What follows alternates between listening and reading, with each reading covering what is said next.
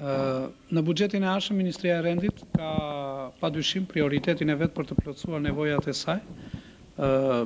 për mbajtjen e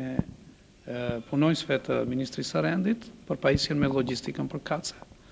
me qëllim që të plotësohen të gjitha kushtet e saj. Rritja e rrogës për Forcat e Rendit në muajin prill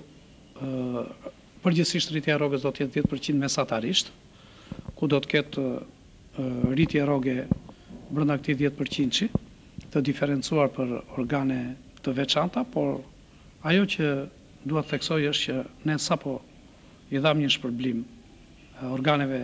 të rendit nëpërmjet taksës së solidaritetit,